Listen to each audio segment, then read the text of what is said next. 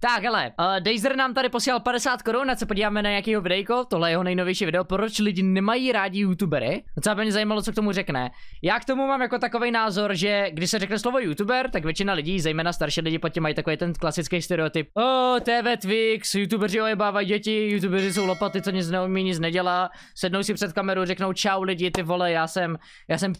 a dneska tady máte další product placement, kupte si šampon a čau, a což jako samozřejmě není pravda, jo, není to ani trošku pravda. Bohužel hodně lidí má tadyhle stereotyp v hlavě, ale jdeme se podívat, co nám k tomu řekne Dazer nějak objektivně. OK, takže čau lidi, já jsem z tomu dalšího videa. Jelikož vás názory poměrně ode mě baví, což je minulý video ohledně donatu, má přes 100 000 shlédnutí. Kámo, nechceš mi říct, že ta moje reakce na Dazera má víc views jak to Dazerovo video. Kámo, tomu algoritmu jebe.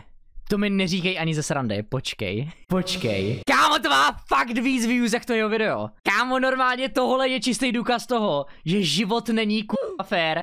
Kámo, Dazer normálně udělá video, do kterého se dá, do kterého se dá práci. To video má 110 kp, pak přijdu tak já, který si sedne na prdel, na streamu si to video pustí, řekne k tomu pár s***ek. A mám na to ještě o 30 víc, to ti jebe. to tak tomu algoritmu jako úplně jeblo, jo, ty vole, tak to si děláš brdel. Ale tak ono to jako z velké části může být i watch timem, že to moje video je dvakrát delší, no, ale i tak to je šílený, ty jo. Tak to je nepochopitelný pro mě. Jsem se rozhodl, že bych tady rozebral jednu tému, o které už přemýšlím dlouho a poslední dobou mi i jedna věc hrála do karet. Proč to natočit? Už dobu jsem si říkal, že bych natočil video jako ohledně toho, proč lidi nemají celkově rádi jako youtubery, proč celkově youtubeři se vlastně stydějí chodit někam a říct, hele, what's up man, já jsem youtuber. Kdo z jednoho prostě Souhlasím, no. Já, já třeba když někam jdu, tak prostě řeknu, když jsem, já to většinou neříkám, ale když se mě někdo zeptá, čau, co děláš, tak já prostě řeknu, čau, hele, tvořím obsah na internet, tvořím content a když tak řeknu, že streamuju, jo, protože to, to ještě není zase tak široký pojem jako youtuber. Ono je to dáno tím, že máš tyhle kontroverzní paka jako TV Twix, medializovaný třeba ve zprávách na nově, jak odrbávají děti a na tohle hodně lidí kouká, tím pádem z toho vyjde tento stereotyp, jelikož hodně lidí kouká na zprávy místo YouTube, a hlavně ti starší. Jo, naprosto souhlasím, je to tím prostě zas televize, ty vole. Kundy. A aby toho nebylo málo, tak pak udělej ještě takový s***ný Lighthouse, kde zas pozvou dalších 50 lopat, ty vole, který vůbec nereprezentují scénu a zase si všichni starší budou myslet, že takhle vypadá, vypadá každý influencer, vole. Jako fakt mě tohle sere. Z důvodu lidi mají jako youtubery zaškatulkovaný hlavně hráče v tom, že natočíš si video, kde si hraješ hru a jenom toho něco kecáš, nějaký hovna a nahraješ to na internet. Ale tak to není, jo, samozřejmě uh, jsou i někteří takový, ale já si myslím, že třeba i zatím jako daleko víc práce musíte to vymyslet, jo. Kol třeba mnoha lidí mi říká, what the fuck, jak můžeš furt něco takového vymýšlet, samozřejmě hodně se inspiruju ze zahraničí, ale taky něco jde z mojí hlavy. Musíte, že jste v tom nějakým koloběhu zaběhlí, teď si podle toho, jaký, jaký video stříháte, může to trvat 2-3 hodiny, může to trvat 8 hodin editu, může to být fakt nějaký special video, který trvá třeba mu nové animace, který trvají třeba 14 hodin, 14 hodin já to teda teďka mám podle mě nastavený perfektně. Já dřív, když jsem si stříhal vlastní videa, tak jsem taky vůbec nic nestíhal, hlavně se mi do toho nechtělo. Ale teďka mám perfektně, že skoro 100% mého kontentu jde prostě ze streamu, takže já si každý den na 4-5 hodin zapnu stream a z toho streamu potom posílám content, který Jan se stříhá, s grafikem vymýšlíme náhledák, ale pořád samozřejmě musíte i mít ten content na ty streamy, jo, zase to nejde, jako já většinou na streamu improvizuju, ale zase taky bych tady nemohl sedět a jenom jako mluvit do prázdna, jo, vždycky na tom streamu musíte něco dělat, vymyslet ten content a ty lidi tam jako udržet, jo, že jo. 14 dní neustálého editu, jo, jo, samozřejmě pauzy, jdu se vyspat, jdu se vysílat, jdu se vycat, ale chápeme se. Tady to už trvá tak jak živá, že vždycky prostě youtuber byl ten, co vlastně si sedne takhle před kameru a řekne blbosti a vydělává neuvěřitelný peníze, tak na co myslí všichni, jo? No, ale v poslední době se... Reálně podle mě není takový youtuber. Jako i ti p***raní TV Twix, do těch videí musí dát nějakou snahu. Sice to skoro nejde vidět, ale a nějaká špetka snahy tam prostě být. Jako reálně není nikdo, kdo by řekl čau, řekl vám pár jako nějakých ty vole špatných mouder a byl by z něj milionář, jako tak to fakt nefunguje. Zmohl jeden takový nešvar a to je to, že vznikla show, která se jmenuje Lighthouse. Takhle se oh, jistě. Lighthouse se jmenuje. No a já úplně nevím, kde ten článek jsem viděl, ale někde jsem viděl článek ohledně toho, že tady ta show mm, má jako samozřejmě samozřejmě je to taková jako reality show a takovýhle, má to působit jako nějaký, jako koukáte na výměnu manžel, koukáte na, chápete, jo, prostě jsou zavřený na tři měsíce v nějakým baráku, vile, kdekoliv, jo, nějaký soutěže, nevím, cokoliv, jo, ale má to i sloužit k tomu, že lidi, co nejsou políbený tím, Kdyby se gamer sedl před kameru, tak by to mělo taky hodně zhlédnutí. No ano, ale ty vůbec nebereš potaz to, že gamer si to může dovolit už z toho důvodu, že točí x let. Že gamer už má nějakou relevanci. Ale kdyby si gamer sedl před kameru na začátku jeho ka- kariéry, když ho ještě nikdo neznal, tak by to nikoho nezajímalo, že jo? Ty vůbec jako nebereš potaz to, že gamer už má vybudovanou obrovskou fanbase fanoušků, který v tuhle chvíli zajímá jako všechno, co gamer dělá, ale tak mu to trvalo x let práce se do tohohle bodu dostat. internetovým světem, neznají ty influencery a takový len vlastně pomalu nevědějí, je youtubery, když jako předpokládám, že do dneska neví do prdele, kdo je youtuber. No ale to je jedno, jo? Takže ty, co jsou nepolíbený tím, anebo jenom o tom slyšeli aby jako poznali ten svět víc, tak se rozhodli na primě na jejich hlavní stanici Prima před prostřenem, což já beru, jakože já přesně jako nevím, jestli to jako hlavní vysílací čas, jo, ale myslím si, že uh, jsou zprávy, pak by byl ten Lighthouse a pak prostřeno. Pro, na prostřeno, kdo nekouká ze starších lidí na prostřeno kdo nekouká na zprávy. Reálně to hodili mezi jeden z nejsledovanějších časů. Tak se rozhodli, že tam hodí teda tady tu show. Dá se tomu říkat show. Uh, spočívá to teda v tom, co jsme si už řekli. Jedna věc se mi tam nelíbí. Ano, může to být geniální, může to být strašně super, ale to by, já nevím, já nevím, jo, je to můj čistý názor. Dejzrec, z čeho máš tady zvuk, ty vole? Ty to nemáš zvuk z mikrofonu, máš z kamery, proč? Teď se fakt za- zachovám jako největší hater, ale proč tam vybrali ty lidi, co tam vybrali? Jako No jasný. jeden z největších jmen, co tam asi je, tak je Adam Já vím, že tohle sice názor, který pořád jako rozobíral Checkloud a mám moc části od něj, ale já nechápu, proč tam dali jenom samý TikTokery. Kdyby udělali to, že tady vám jebnem jednoho streamera, tady máte jednoho youtubera, jednoho tiktokera, jednoho instagramera, ty vole, tady máte klidně jednou porno hvězdu, to je jedno, ale prostě máš tam několik lidí, kteří prostě každý dělá něco jiného, tak by to bylo zajímavý. Ale oni tady dají dohromady šest Resident Sleeper influencerů, který až na Kayumio a Datla nikoho nezajímají, a těle influenceři teďka budou reprezentovat celou českou scénu v televizi. To si jako děláš prdel, ne? A nejhorší je, že podle mě tam na 100% v tom týmu je někdo, kdo jim podle mě navrhl, aby to udělali jinak. Ale oni si to prostě udělali takhle, protože to takhle z nějakého důvodu chtěli. A já nechápu proč ty vole. Kajumi. Momentální chvíli jedno z nejvíc kontroverzních témat, jedno z nejvíc kontroverzních lidí na Československu. Je to člověk, co dělá přešlap za přešlapem, prostě fakt up sem, fakt up tam, prostě kámo, reálně. Tady ten člověk udělal takových pičovin, že to se mi nepodaří ani do mého důchodu udělat takovýhle novna. A to nejsem žádný svaťoušek. Bo- Borec udělal takové věci, kor teďka v poslední době, jak to bylo s tou zavřenou restaurací, samozřejmě všichni, ni- hele, Adame, Čau, nemáme v palici nasráno. Když máš tam tu storku, jak tam seš s tou svojí růžovou košulkou a podíváš se na ten stůl, jak to ukazoval Rady, podíváš se na ten stůl, tak tam je napsáno na tom meníčku menu zavřené restaurace. A on stejně. To není pravda. Já tam nikdy nebyl. To je tři roky starý. My jsme se potkali v nějakém No alternativním vesmíru, přitom ty holky znám dva měsíce. Ale uh, my jsme se potkali v nějakém ty vole někde už. Zase jsme, zase jsme se od, od seznámili a zase jsme se seznámili, kámo. What the fuck? No, pozvali tam zrovna takovýhle člověka, který myslím si, že tam bude hrát strašně velkou roli. Zrovna on tam bude hrát největší roli, si myslím. Plus je Datel. Datel měl taky kauzičky nějaký a já doufám, Datle, prosím, jo? Já fakt ale nechápu, proč zrovna tyhle lidi. Je to z důvodu, že by jim na to někdo jiný nekývl, zkoušeli vůbec obepisovat jiný lidi. Já to fakt nechápu. Jako je to strašná škoda, je to strašně nevyužitý potenciál. A bude z toho nakonec jako sračka, která zase všem influencerům pošpiní jméno. Pošpiní to ten pojem influencer. A jako po pár týdnech to umře a nikoho to nebude zajímat. Jako fakt skvělý ty vole.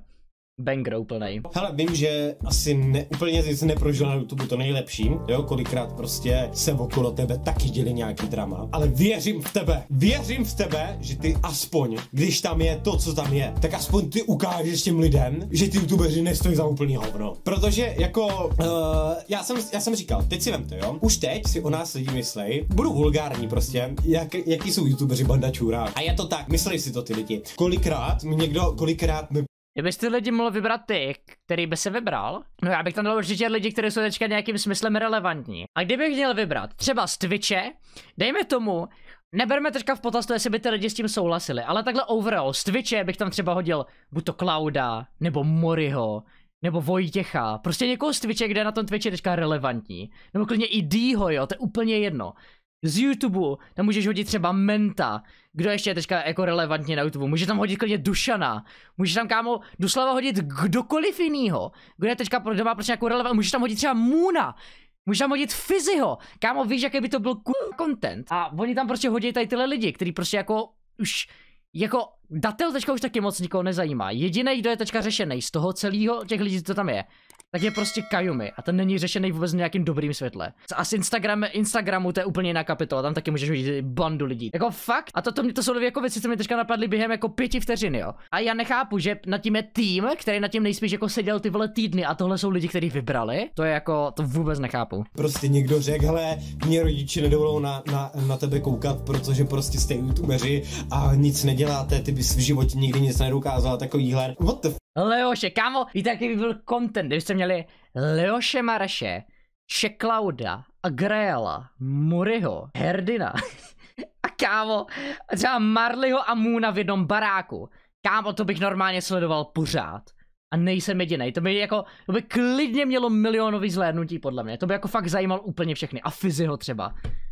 Kámo, to by byl banger úplný. Oni tam místo toho hodí tady tyhle random lidi. Prostě... Já, já vím, že tohle jakože polovina z těchto lidí by nesouhlasila s tím, aby tam byli, nebo by na to měli moc velký honorář. Ale kámo, i tak tam mohli dát doslova kohokoliv jiného, kde alespoň trošičku více relevantní jak ty lidi, co tam jsou tečka. Nebo třeba takový babica, tam by do toho podle mě úplně v klidu šel, jo, a bylo by to úplný banger. Fakt to nechápu, ty vole. Plus babica je jméno, který znají normálně jako i starší lidi. Prostě teďka prima řekla, tak já jim ukážu těm lidem a vyberou. Adama, Jenise, Jenise. Mohli vybrat daleko větší influencery. Za prvé jsem neznal, jo? Znal... Kámo se dokážu představit ten prank Datel a Jenis. První den ve vile. V... Pojistky, pojistky down prank.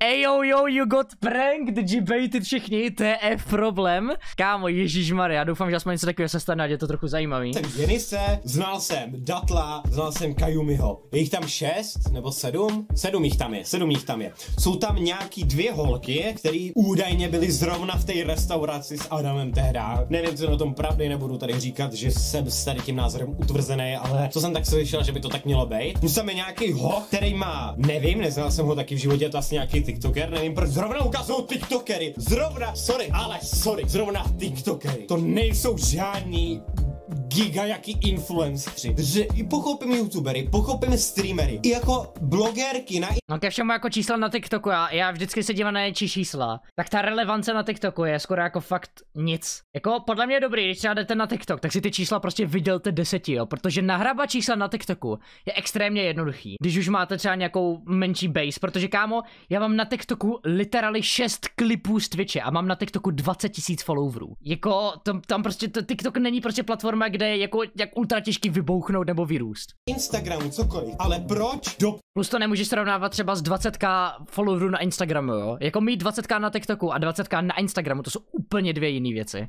Prdele TikTokery. Nepochopím. Uh, potom tam je nějaká vorka, která má na TikToku 10 tisíc a na Instagramu 10 tisíc. Já nejsem žádný giga influencer, který by šel do televize. Já mám ale na Instagramu 120 tisíc, na YouTube přes 200. Proč tam nevybral aspoň nějaký jména, když stejně nikdo nezná? Jako reálně děláš s influencerema, ale takovýhle čísla můžou mít i normální lidi, který natočej dvě nějaký virální sračky. To je jako uprostřená, normálně lidi někoho nezajímají, proto tam jsou takový případy. No ale tohle nejsou ani ty případy, to jsou reálně prostě lidi, kteří jsou právě jako v uvozovkách normální. Možná jako, jako já, ne, já nevím, jaký jsou ty lidi, ten zbytek, ty méně slavní, co tam vybrali, třeba ta holka, co má desetka, nevím, jaký můžou být, ale kámo, proč? To by fakt bylo víc zajímavý, kdybys tam vybral tady ty lidi, co se jmenoval. Nevím, já to prostě nechápu. Ale jako zase prostřed na tohle nemůžeš úplně srovnávat. Protože ty teďka srovnáváš lidi, co se alespoň jako třeba snaží nějak vystupovat na internetu, lomeno v televizi. A lidi u, úplně z běžného života, co v životě neviděli kameru, že jo? A to nemůžeš úplně srovnat.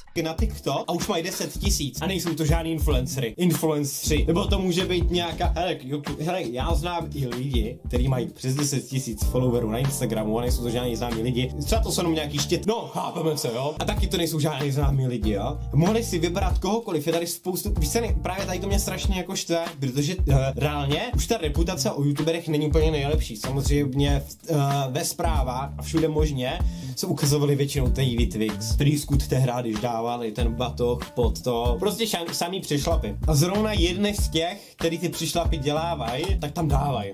Do, do, do tady té show. Takže prostě nemyslím si, že by ukázali ten, jako tom dobrým. A co si budem Adam a Adam, jo? Ten nepřemýšlený ale ta televize tomu nerozumí a myslí si, že tohle bude zajímat víc víc než nějaký checkout a podobně. Těma nesouhlasím, já si myslím, že ten tým lidí tomu moc dobře rozumí a tohle prostě z nějakého důvodu udělali na schvál. A to je to, co mi hlava nebere, prostě proč. Jako neříkej mi, když na tomhle pořadu máš tým x desítek lidí, že tam není jediný člověk, co by nenavrhl, hej, vyberme tam někoho, u koho by to reálně dávalo smysl, aby tam byl. Věc mama, ty přišlapy jsou fakt jako do prdele, kur velký, jo. A myslím si, že, no jsem zvědavý, jo, jsem zvědavý, jak to, jak to, jak to bude vypadat. Buď doufám v jedno, buď to fakt uhlídaj, bude to, bude to třeba i podle nějakého scénáře, jo, bude to dobrý, anebo prostě nechaj se chovají přirozeně a to prdel. Podle mě to bude hrozný nůďo, ty vole. Já schválně dám jako fakt šanci té první epizodě, ale nevím. Věc, která mě strašně na tom štve, tak je ta, že reálně půlku z těch lidí jsem já neznal. A to jsem člověk, který můžu, můžu o sobě říct, že už se s tím prostě živím. A já neznal jsem půlku těch influencerů. Jak já, jako influencer, který se tím živí a pohybuje se v tom, tak je neznal. Jako, mm, plus jak říkám, jo, teďka nedávno tam prý jedna holčina z toho vycouvala, co jsem tak zaslech. Třeba si řekla, že to je možná dobře, protože se na ten pořad musela znít taková kritika, že to není možný. Ale tak tak no. Hele, myslím si fakt, kdyby tam pozvali nějaký jiný youtubery, podle toho, jestli by jim za ty jiný youtubeři přijmuli, jo. Hele, pokud, pokud tam zvali nějaký normální youtubery a řekli, bude tam Adam Kajumi, tak asi věřím tomu, že to odřekla hromada youtuberů a bohužel to zbylo na tady ty. Hold, uh, takový to je, ale kdyby celkově ten tým, nebo ten tým lidí, co má být v té show, udělali z normálních lidí, tak si já fakt myslím, že by to nemusela být špatná show. Ale nemusí to být ani z normálních lidí, prostě lidi, co jsou nějakým způsobem zajímaví, jo, ale tam, když tam prostě dáš tady tyhle lidi, tak to není už ani zajímavý, že jo.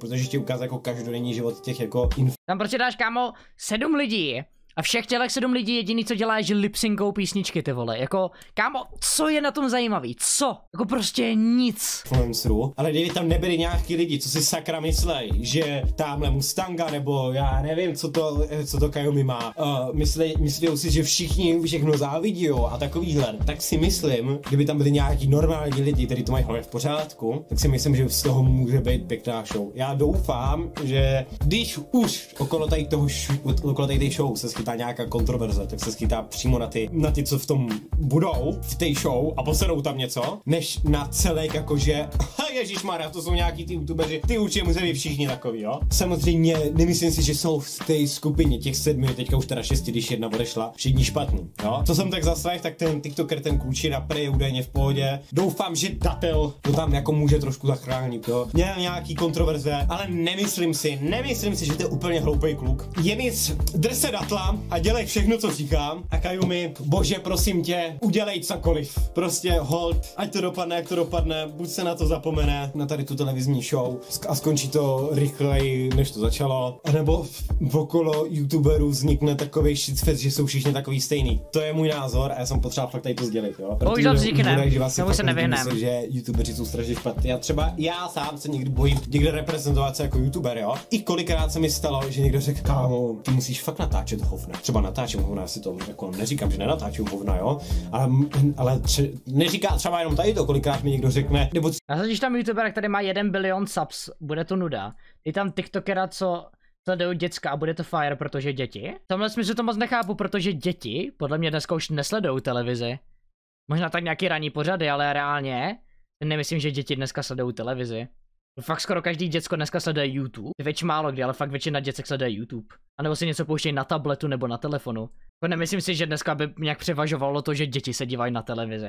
Druhý je to na schvál, aby lidi neměli rádi influencer, a to mě na tom štve, protože to není pravda. No jako ve, vesně to tak působí, no. Vesně tak, jak je to udělané, to tak strašně působí, že hej, tady dáme lidi, aby. Pro prostě přesně lidi, kteří naserou toho klasického kejkonava, který si v hospůdce pije pivečkou, vidí tam nějaký strany influencery v televizi, který se chovají jak čuráci, jo. Tak jako Nebo chovají se prostě jak na, prostě jak na myšlení k***ti, tak jako, co si takový typek jako pomyslí, že? A plus takových typků, co se to podívá, dalších 100 tisíc. Třeba se ani nechci bavit, jo, nebo třeba jsem mu nesympatický, nebo třeba se mě začíná ze špínu, nebo mě někdo začne pomlouvat a takovýhle. A to je třeba jenom kvůli tomu, že jsem youtuber a že zrovna lidi to nemusijou. Neříkám, že je tady to vina těch youtuberů, jo. Dělají hovna, dělají hovna, bohužel s tím nikdo nic neudělá, jo. Nebo i těch jako influencerů celkově, ale to slovo totálně nenávidím, influencer.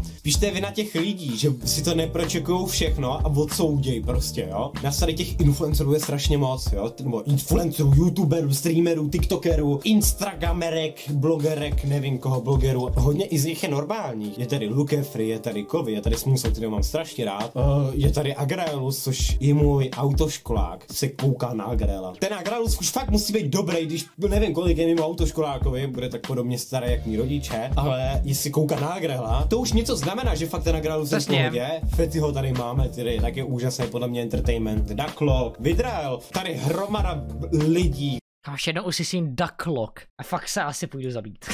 který fakt tvoří dobrý content. A třeba zrovna si myslím, že kdyby tady ty lidi byli v tady té show, tak by to nedopadlo vůbec špatně. No, já si myslím, že by pro teď to mohlo být všechno. Určitě mi napište i svoje názory do komentářů. Je dost možný, že teďka vypnu kameru a řeknu si, že jsem něco chtěl říct jinak a tak, protože miluji spatra, nemám žádný scénář. Ale Jo, i tak doufám, že jsem řekl všechno, tom videu si otírám cos jak kdybych si dal lineu XDDD.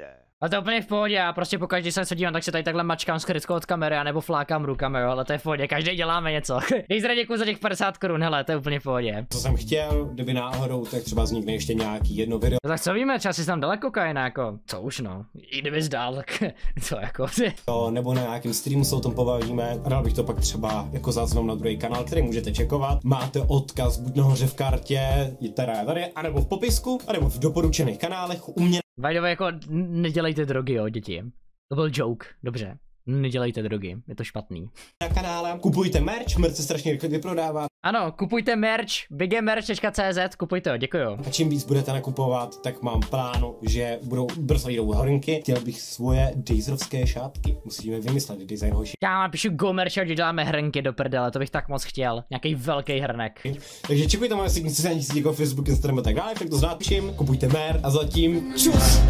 Super, super video. Podle mě asi jako dobře zhrnutý, no. Já bych to, já bych to asi nějak jinak neřekl. A bohužel, bohužel televize a tady tyhle věci, které sledují starší lidi, tak kvůli tomu tady tyhle lidi potom taky mají jako negativní názor na influencery. Proto já radši říkám, že streamu, protože když řekneš, že jsi streamer, tak většina těch starších lidí pořádně neví, co to je. A můžeš jim to vysvětlit. Zase když řekneš youtuber, tak se řeknou, no ježiš, ten tady zase ty vole natáčí videa, který nikoho nezajímají, mele něco do kamery a vydělává hrozně moc peněz. Děkuji ti za videjko, moc skvělý video.